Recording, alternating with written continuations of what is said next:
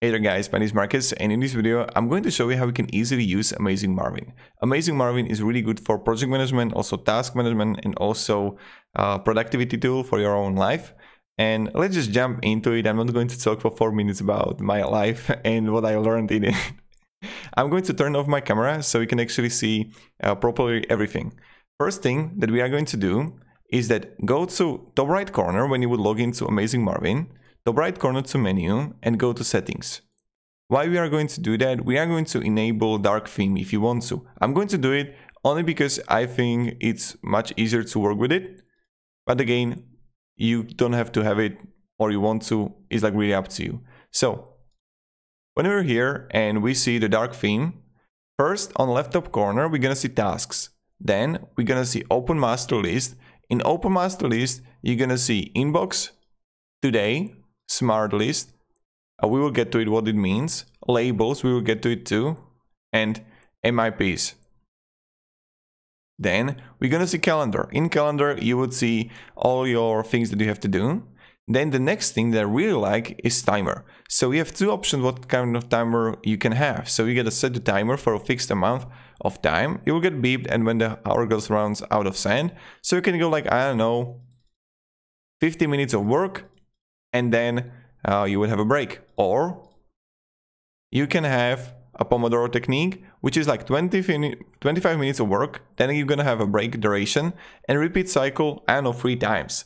And then you would start working on a project that you want to. So you can have that. That's timers. Then you're gonna see statistics of your uh, like Tuesday, Wednesday, every single day in a week, and also how many tasks you got, what kind of, uh, how many times you finished your projects and tasks, etc. And then you're going to see strategies here. In strategies, you're going to see category context. I would have it on. See what category or project task belongs to. And then most of these things you're going to have on, but you don't you don't have to have them if you don't need them. Like for example, the smart list. Um, I don't personally use them, but you don't want to. It's up to you. Then you're going to see print list and rollover schedule tasks and most of the things are on. Again, you can turn it off or turn it on. Now, when we go to tasks, this is where fun starts. First, you're gonna see date here, like what you're gonna have to do every single day.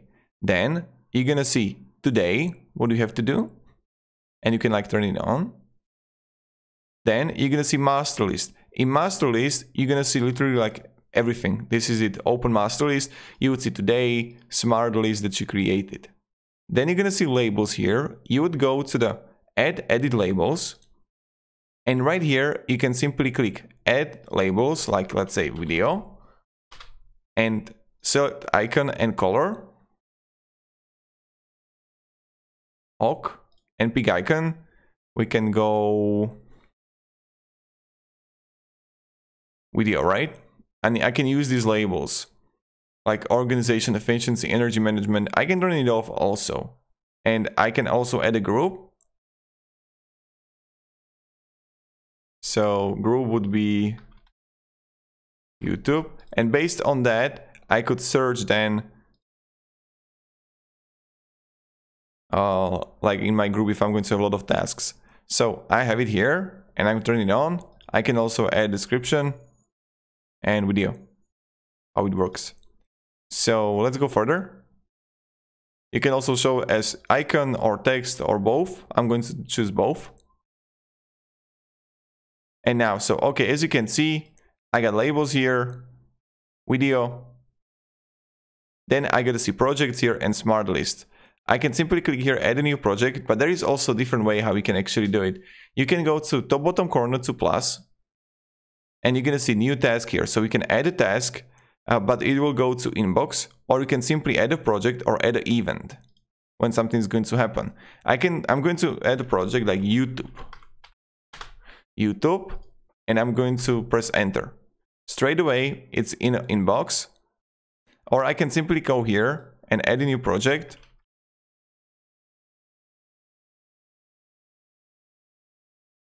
And voila, here we got it.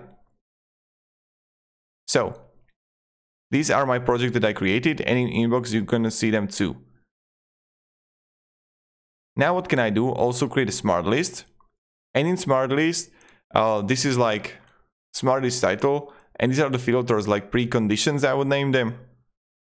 So item type, task. So when I'm going to do that, what will happen? Project, you know, and you can then just save it. I don't personally use it. I don't find it really necessary, but if you want to, oh, you can use it. Now, to project, I'm going to click on a project here, and now I can go click on it, go to open full screen, and right here, you're gonna see show tasks, show node, show tasks and node. On the show task, I can simply add a task to YouTube and let's go yoga video, right? This is my first thing that I have to do. And it's going to be inbox. Opa. Project, YouTube.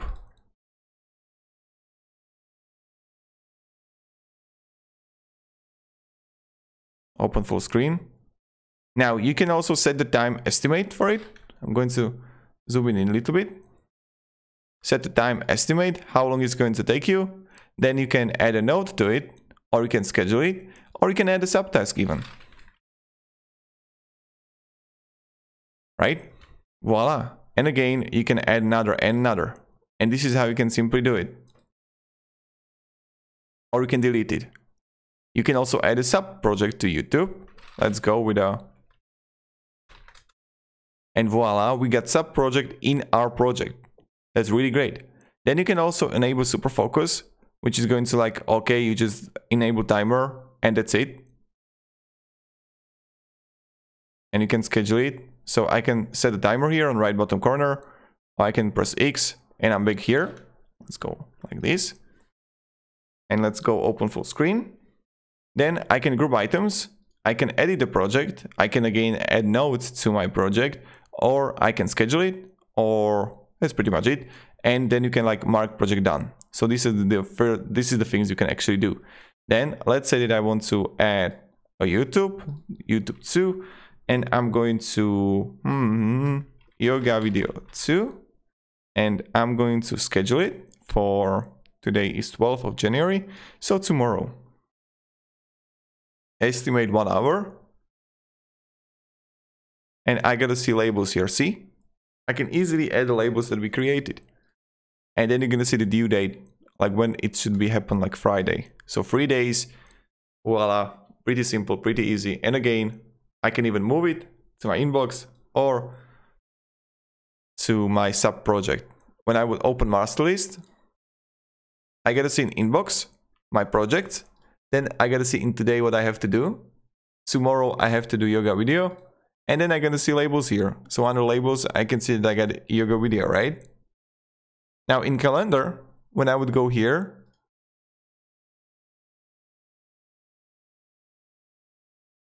you can also add an event and you can add like if it's a task or if it's even. And when it's going to actually happen category project we can add it to youtube video. And this is how you can do it. Right? We can go to controls click to add event or task and then you can also like when you would go to open master list or task click plus here and you can add event and event would be event youtube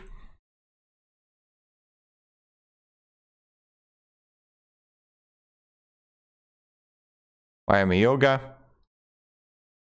That's what we had. And that's pretty much it.